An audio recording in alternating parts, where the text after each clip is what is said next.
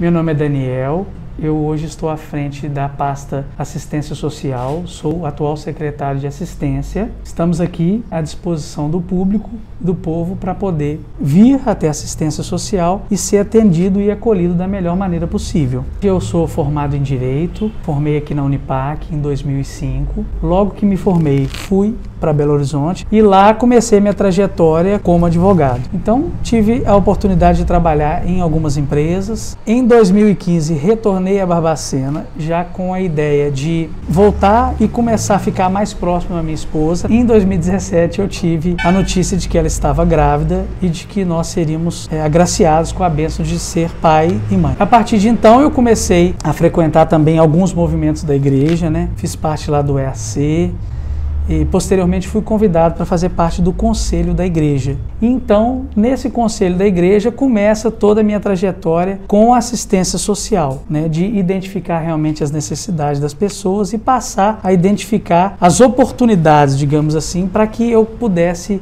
de uma forma ou de outra, agraciá-las com algo que elas estivessem precisando. Na realidade, nós sabemos que durante os quatro anos teremos muito trabalho e nós estamos buscando da melhor forma possível fazer isso com tamanho afinco e da melhor maneira possível. No meu gabinete, diuturnamente, nós atendemos diversas pessoas, atendemos a várias demandas que estavam realmente de uma forma ou de outra guardadas aqui e que não tinham sido dadas soluções. E a gente está buscando agora, num primeiro momento, né, nessa primeira semana, realmente tentar dar uma, uma velocidade para essas demandas. Mas a nossa ideia com relação à assistência social é muito maior do que ser tão somente assistencialista. Então, esse é um primeiro movimento que a gente vem fazendo para que a coisa flua e seja de fato uma assistência que olhe para as pessoas. A nossa ideia hoje é fazer com que aquele que está lá na ponta, que talvez nunca foi olhado, nunca foi lembrado. Que ele chegue aqui na assistência, seja atendido e no final ele vai sair daqui com a cabeça e com a consciência é o seguinte: tudo que podia ser feito por nós foi feito. Lá na ponta, todo mundo vai poder vir aqui na assistência e aqui a gente de fato vai tornar essa secretaria, que é uma secretaria bonita, ampla,